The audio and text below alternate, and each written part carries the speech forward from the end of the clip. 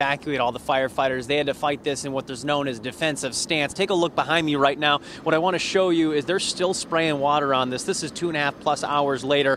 This thing got so hot, you're looking at a section where the roof began to sag. You have this metal tin roof on top of it. They had to get everybody out of there. That's how hot this thing is. Inside, this is actually more like the dance floor type area of Wise Guys. We know that it was all done up with Christmas lights, but really it's too early to say whether or not that is what caused the fire. They're still going to have to investigate that that they have to wait to get inside right now. What I do want to show you is video from earlier today. That's the owner right here that is actually being hugged by multiple people. I tell you what, it, this is truly a family business, and you're seeing a picture now of what it looked like when those flames were actually bursting out of the roof. This thing was a big fire, and it burned hot, and it is obviously devastating for those in this community of Clinton Township because there are 40 to 50 people who actually work for this company, uh, for this one location. They do have another location over at 16th and Harper. Uh, obviously, right now, now what the concern is is how do you handle all these employees with children and things as we approach the Christmas season. But the fire right now, crews are trying to figure out what caused it. They're trying to figure out what's going on. Now, what you're taking a look at out here live right now, all these people huddled together,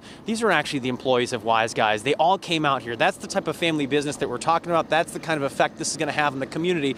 They're all coming together because they're concerned about what they're going to do next. And obviously, speaking with the family right now, they didn't want to go on camera, but they did talk with me for a little while off camera, very gracious, again, worried about those employees. But I talked to them a little bit about what do you do right now? What are you thinking about? And I was told, well, this is obviously something you don't fix in a few days, not a few weeks, maybe not even a few months. It could be even a year. Now, obviously, that's early speculation, but the problem is right now is you had a fire that just destroyed a business for dozens of people, and we don't know what the situation is going to be with them for jobs moving forward. People are already starting to talk about how they're going to pull together, but it's kind of the early stages. So we're going to follow this story closely and let you guys know. But again, the fire marshal's still working to get inside and figure out what exactly caused this fire. The good information that we can tell you right now, nobody was inside when the fire started, so no one was injured. That's the only good news out of this situation in Macomb County right now.